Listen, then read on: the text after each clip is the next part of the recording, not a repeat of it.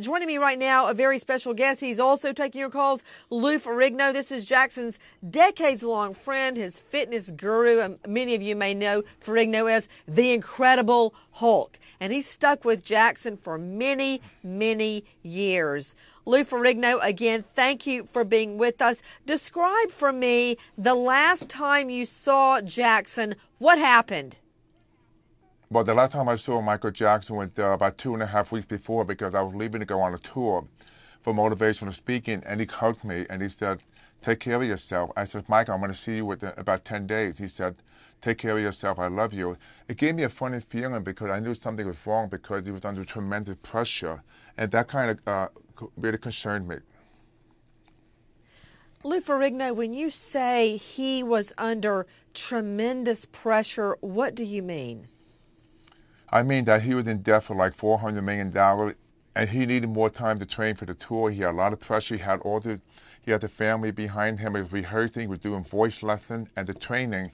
I just think that because he wanted to make the greatest comeback, that he has so much pressure on himself, and I think his body just gave out because it was just too much. It was too much for a short period of time. You know, I'm just thinking about but what I, you're but saying, but, Lou. Go ahead. I think that, and I was going to say that he was, a, he was going to be in phenomenal shape.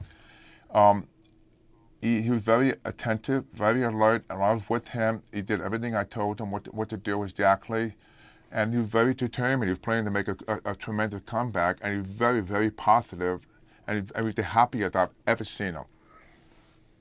Well, Lou Ferrigno, exactly what were you telling him to do? What kind of training were you giving him?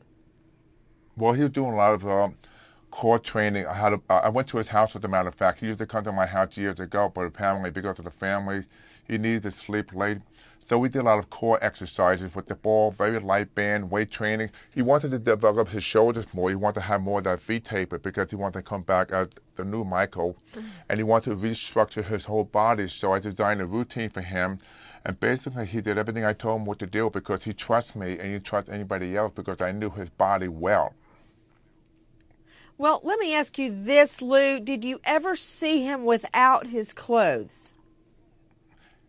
Yeah, that's a good question because when I trained him, sometimes we would do cardio. He would come downstairs with a suit, a tuxedo suit, pants, and a white T-shirt. So after we did 10 or 15 minutes of cardio, he would take the jacket off, and he looked great. He, he may be maybe a few pounds lighter, but uh, his skin looked great. He looked great. Um, and I stretched him out like maybe two or three inches for him on the floor, stretching him out, and he looked fine. I mean, basically, sometimes he had a shirt off. Okay, looked, so like you you never saw him without his clothes. And I saw him. He, he took the jacket off. I saw him with a t-shirt. Sometimes he had a shirt off. Okay. Because he was, he was warming up. He was sweating.